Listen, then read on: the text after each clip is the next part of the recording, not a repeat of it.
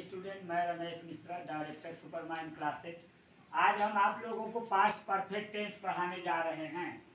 Past perfect tense perfect means होता है पूर्ण, और पास्ट टेंस मीन्स भूतकाल, पूर्ण भूतकाल. पास्ट परफेक्ट टेंस मीन्स पूर्ण भूतकाल. पास्ट परफेक्ट टेंस की पहचान है, चुका था, चुकी थी चुके थे, लिया था, दिया था। और इसमें हेल्पिंग वर्ब हैड लगेगा और third form helping verb had के साथ थर्ड फॉर्म सिंगुलर नंबर के साथ भी हैड लगाएँगे और प्लूरल नंबर के साथ भी हैड का प्रयोग करेंगे। वह खेल चुका था। सबसे पहले सब्जेक्ट का ट्रांसलेशन वह का ही चुका था, चुकी थी। हैड लगेगा और खेलना का तीसरा फॉर्म प्लेड ही है प्लेड तुम खा चुके थे, तुम का यू, तुम प्लूरल नंबर सब्जेक्ट है, और इसमें भी हैड ही लगेगा लेकिन. पास्ट परफेक्ट टेंस में केवल हैड का प्रयोग होगा. You had eaten you had eaten doctor के आने से पहले मरीज़ मर चुका था. इसमें आप इस बात का ध्यान दीजिए. पूर्व की और पहले की अंग्रेज़ी होती है बिफोर पूर्व और पहले की अंग्रेज़ी होती है बिफोर बाद या पश्चात की अंग्रेज़ी होती है आफ्टर बच्चों, ध्यान दीजिएगा। पूर्व और पहले की अंग्रेज़ी बिफोर और बाद और पश्चात की मीनिंग आफ्टर इसमें दो टेंस होते हैं। पास्ट परफेक्ट टेंस के साथ पास्ट इंडिफिनिट का प्रयोग करते हैं। पास्ट परफेक्ट के साथ पास्ट इंडिफिनिट टेंस का प्रयोग किया जाता है। पास्ट परफेक्ट मीन्स हेड लगा के थर्ड फॉर्म और past indefinite means second form. Doctor के आने से पहले मरीज़ मर गया था या मर चुका था।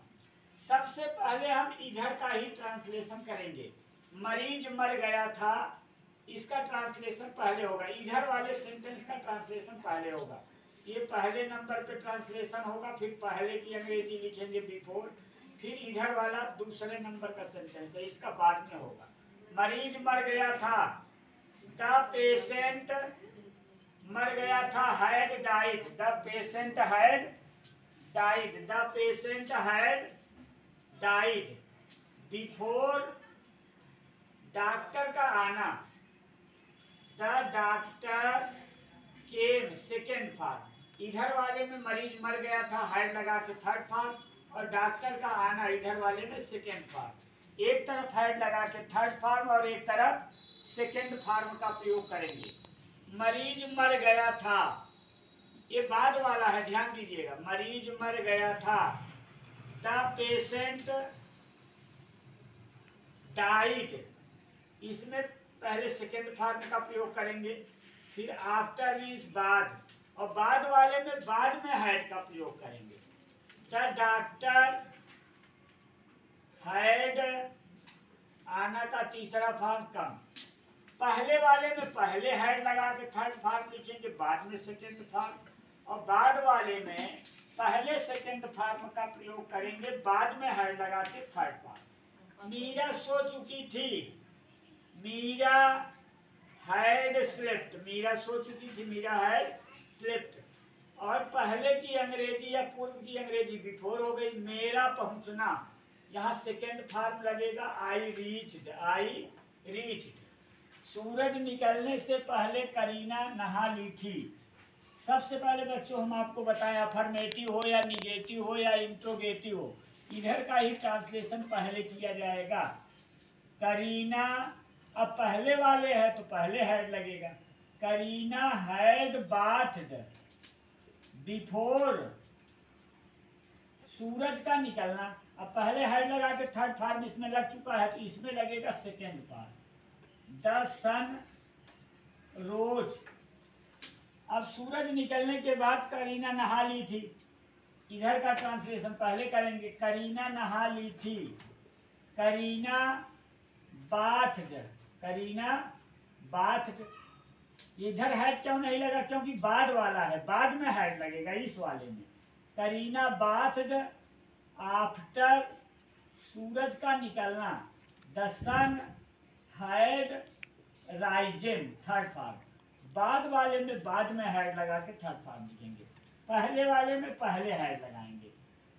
पूर्व वाला है, पहले वाला है। मोहन आया था। मोहन पहले वाला है तो पहले हेड लगेगा हेड लगा के थर्ड फॉर्म आना का third form come Mohan had come. पूर्व की अंग्रेज़ी बिफोर तुम्हारा जाना यू अब ये इधर सेकेंड फॉर्म लगेगा, तुम्हारा जाना यू बेंट पहले वाले पहले हेड लगा थर्ड फॉर्म बाद में सेकेंड फॉर्म अब ये बाद वाला है। ट्रांसलेशन इसी का पहले किया जाएगा। मोहन, अब बाद वाला है तो हेड बाद में लगेगा, ज़ाहिर सी बात है। तो पहले second form Mohan came. After तुम्हारा जाना यू हैड गान मिला भी लेंगे। पहले वाले में पहले हेड लगा है, बाद में सेकेंड फॉर्म और बाद वाले में बाद में हेड लगा के थर्ड फॉर्म पहले सेकेंड फॉर्म अब ये बाद वाला है, डाक गाड़ी आई थी। डाक गाड़ी का मेल ट्रेन आई थी। तो बाद वाला है तो बाद में हेड लगेगा, पहले क्या लगेगा? Second form the mail train came after मालगाड़ी आई थी। मालगाड़ी का the goods train the goods train और बाद वाला है तो हैड कम हैड कम वर्षा होने के पहले मैं पहुँच गया था। पहले वाला है तो पहले हैड लगेगा, पहला वाला ये होता है। मैं पहुँच गया था। I had reached I had reached before वर्षा होना का। अब इसमें क्या लगेगा? Second form it rained it rained एक बात बच्चों और आपको बता दूँ कि पहले और बाद वाला। एक तरफ़ हेड लगा के थर्ड फॉर्म करेंगे और एक तरफ़ सेकेंड फॉर्म का प्रयोग होगा।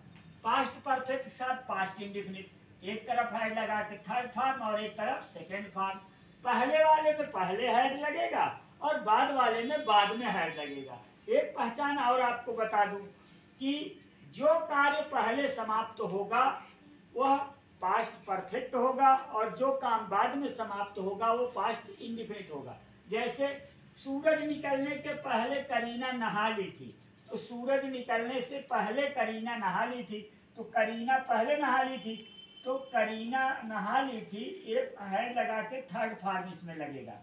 और ये पहले किया जाएगा। और सूरज उसके बाद निकला था। सूरज निकलने से पहले कर दो। जो बाद में काम हुआ, वो पास्ट पर इंडिफिनिट होगा सेकेंड फार्म लगेगा। अब इसमें देखिए, सूरज निकलने के बाद करीना नहाई थी।